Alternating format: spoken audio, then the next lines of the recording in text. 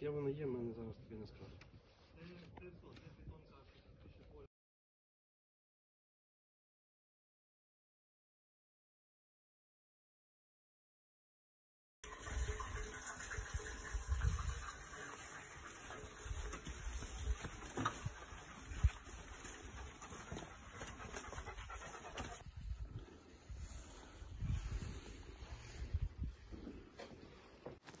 Під час санкціонованих обшуків у будинку та на присадибній ділянці, яка належить 36-річному мешканцю міста Сокаль, е, правоохоронці виявили та вилучили е, речовину, зовні схожу на наркотичний засіб канабіс вагою близько кілограма, а також рослини конопель та інші речові докази.